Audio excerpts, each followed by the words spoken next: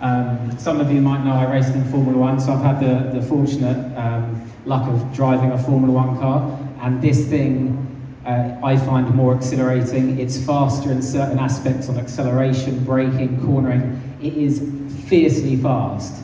Uh, so proud of what everyone at McMurtry has created. The sensations that you get, like just exhilarate your body. Um, I think you would have all seen out there the acceleration in this thing. It just takes your breath away um, and just leaves truly amazing cars. Like the LaFerrari, I'm a big fan of Ferrari, but it makes everything it competes against just just look ordinary. So it's really, really unique, and it's uh, it's a, an amazing sense on the body to drive. It gives you every every feeling, but it just gives you unbelievable performance at the same time. Well, we'd like to thank Alex, the owner of the, uh, the Ferrari, uh, for bringing that. We know that you were going to embarrass it performance-wise, so oh, but thank you so much, Alex, for bringing that along. How does this compare to driving a, a, a driving this against a Formula One car? So as I said, I've been lucky enough to drive a Formula One car. Um, in terms of braking, straight line, it matches it.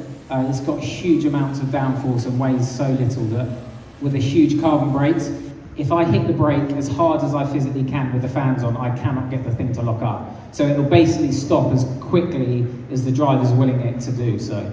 Uh, when it comes to acceleration, thousand over a thousand horsepower, under, under a ton in weight, um, and so it's just, it accelerates unbelievably fast, way faster than a Formula One car.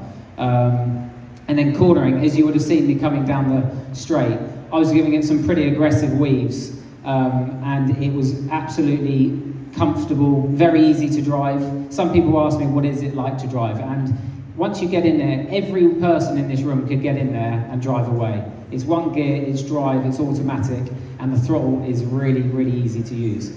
Um, again, it's great for people that haven't got huge experience because it, that fan gives you that um, confidence that if you're in a modern single seater, you would really have to be a great driver to exploit the downforce. With this car, I'm pretty confident with a bit of tuition, all of you could go out there and corner the way I just did. So it is a world's first, it is the future, it is electric. Um, and I think another thing to add is at McMurtry, we're all racing enthusiasts. We're not anti-petrol, we love, we love cars, but this is the future and it is a magnificent thing to drive mean, this car creates a lot of emotion, doesn't it? You know, that uh, someone my age that's grown up as a petrol head, I think I'm going to have to become a, an electric head from now on because this car was really, the performance was, it put the hairs up on my arms and, and my neck. And, uh, and you're saying that someone just like me can jump in this car and drive it? Absolutely. I mean, when we did that launch then, I was really going, what?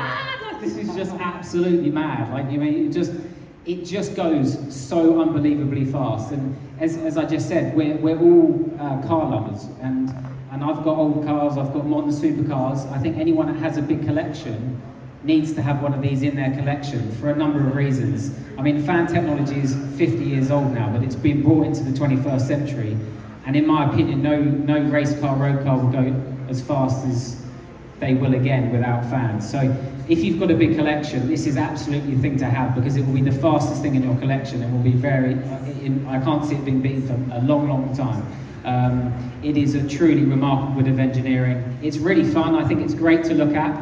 People say it's very small. That's the reason why it's so nimble. It's, the smaller that it is, the more compact, the lighter it is. So everything's been done to draw performance from the car but it also adds the driver's, driver's experience. On a racetrack, when you're in a big racing car like a Le Mans car, you actually don't have much room to play with. But this is like a real life go-kart that does, has a thousand horsepower and can make a LaFerrari stand still. I mean, it's, it's, a, it's got so much to offer. Well, thank you so much, Max, for demonstrating this fabulous car. Can you please give him a round of applause?